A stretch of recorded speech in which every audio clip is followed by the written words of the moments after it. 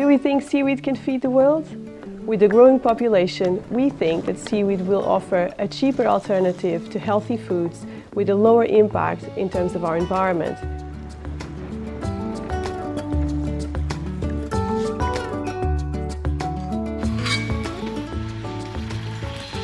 Delicious. It certainly has a role to play if we think about the impacts of climate change on food production such as floods and droughts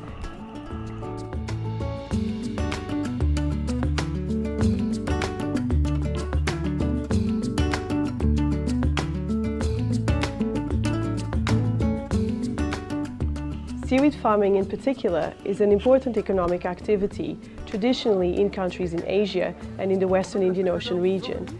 It is also the fastest growing aquaculture sector in Europe due to an increased interest in seaweed food products.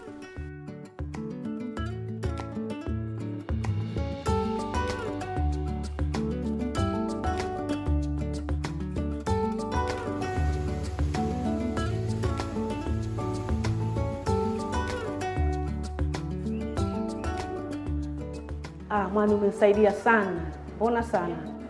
Nilikuwa sina furniture, nanunua watoto nasomeshea hizo hizo pesa, baba watoto hana. Hii shughuli naipenda sana kwa kuwa leo wazee wangu ndo kazi yao, na mimi kila nikiona kazi yao ngumu, na mimi mwenyewe kijana kama mimi kijana najiona bora niwasaidie.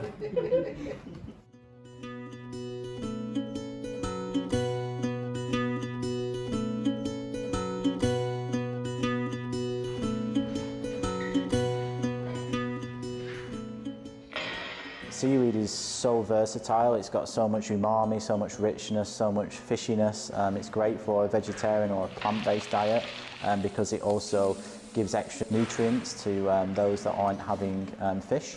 Um, but some ways to incorporate it into your food is, you know, um, blending nori into your salt and making like a, a seaweed salt.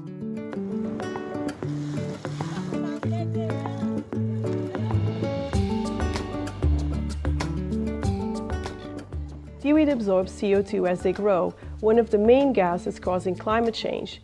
Seaweed products are also used as cattle feed. We've seen that the use of seaweed additives in cattle reduces methane emissions from this food product by about 90%, and that's an incredible effect because methane is one of the main gases causing climate change.